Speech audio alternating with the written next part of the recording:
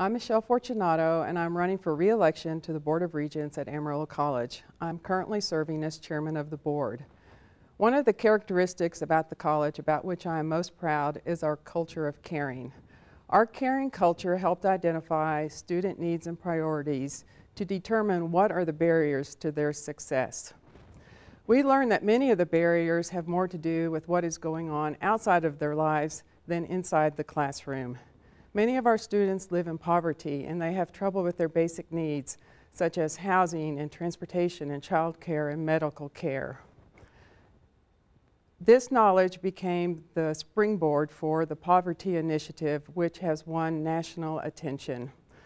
We received the Bellwether Award in Florida, and the judge told me that Amarillo College is doing God's work.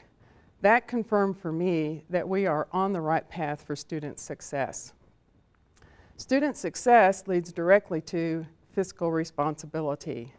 By keeping our students enrolled at Amarillo College from semester to semester, we are adding additional revenues directly to the bottom line of the college.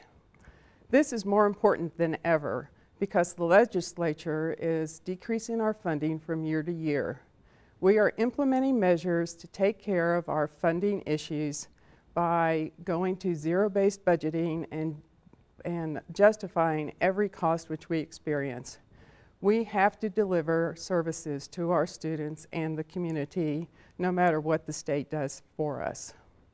I have the leadership skills, the knowledge, and the experience to lead Amarillo College into the future, and I hope that you will vote for me one, two, or three times.